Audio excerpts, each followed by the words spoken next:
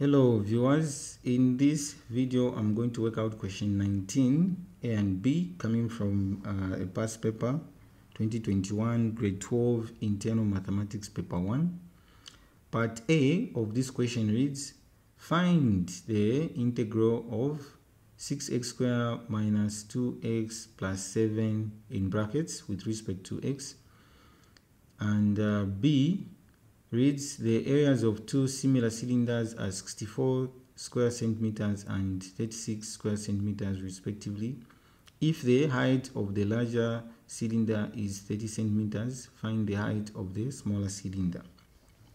So to work out the first part, we want to find the integral to this indefinite integral given. So we'll just apply integration and uh, integration we add a 1 to the index of the x variable on each term and divide the new index.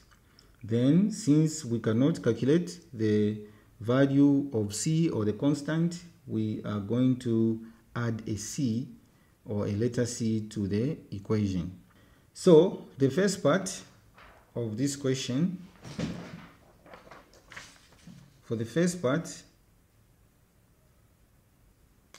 we'll do the following. So first of all, we're going to start with uh, writing down the question given. So we want to find the integral of 6x squared minus 2x plus 7 in brackets with respect to x. So for this, we'll also introduce y here, y equal to, since we want to find the equation or the original equation, so in the next stage, we're going to write y equal to, so when starting the process of integration, we are going to remove this symbol. So in the next stage, we're not going to write it. So we'll just go straight away into working out the process. So for the first term, it will be 6x to the power 2 plus 1. And y it is 2 plus 1 this is because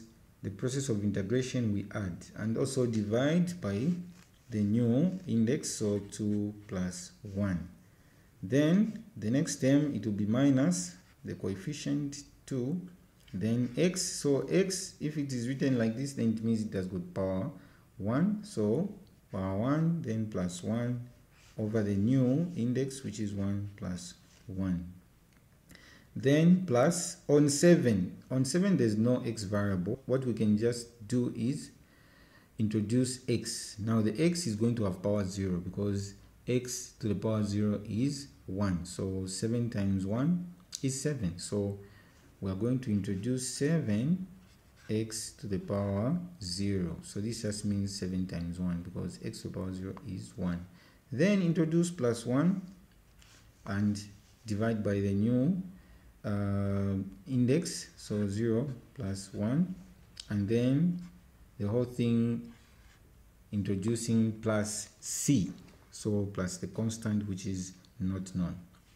And the next stage we're now just going to work out the fractions given so we're going to write the following.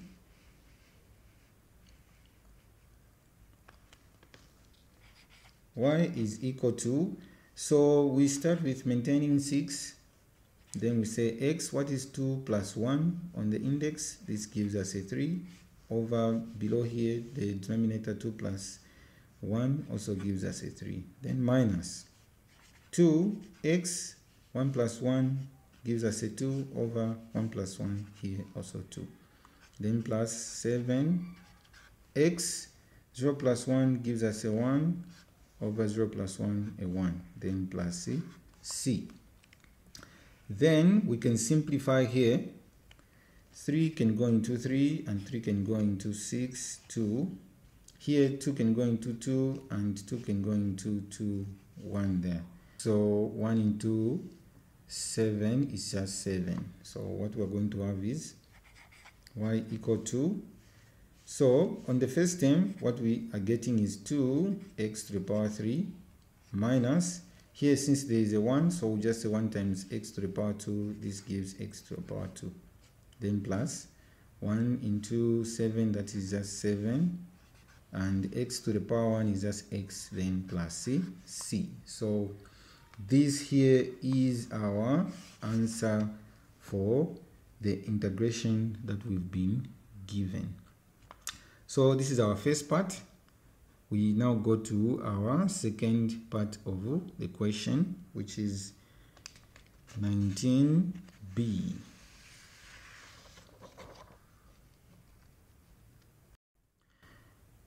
So on B, to find the height of the smaller cylinder when the two areas of the cylinders have been given as 64 square centimeters and 36 square centimeters and also the height of the larger has been given as 30 centimeters. We are going to use the areas given to get the scale or the ratios of the cylinders and to do that we are going to apply uh, square roots on the values given that is the areas and then we are going to cross multiply to get the height of the smaller cylinder so what we're just going to do is first of all start with uh, applying square root on the values given that is the areas to get the scale or the ratio of the cylinders. So b we're going to apply the square root on the first value given which is for the larger. It's 64 to square root of 36 which is the uh, area of the smaller cylinder so then what is square root of 64 square root of 64 gives 8 then square root of 36 gives 6 so we can reduce this ratio we can reduce this ratio to since there's a number that can go into 8 and 6 that is a 2 2 into 8 that is uh, 4 2 into 6 that is 3 so meaning this is our ratio in simple terms or in its lowest form. So this is the ratio that we're going to work with 4 to 3 so meaning that uh, these two cylinders are in the ratio 4 to 3 so the big one has 4 the smaller one has 3 so then if the height of the bigger cylinder is 30 centimeters what is the height of the smaller cylinder? So working with the ratio what we're just going to do is this. Working with the ratio so we're going to say 4 since this is the ratio for the bigger cylinder is equal to 30 centimeters given. So this is the height of the bigger cylinder. And then the ratio for the smaller cylinder will equal to x since this is what we are calculating for height of the smaller cylinder. And then we are just going to cross multiply. So x times f4 gives us 4x equal to 3 times 30 so we are going to divide to find x. We divide by 4 both sides and this is going to give us on the left side 4 into 4 that's 1 1 times x gives x equal to uh, there's a number which can go into 4 and 30 so just say 2 into 4 that's 2 and uh, 2 into 30 that's 15 here.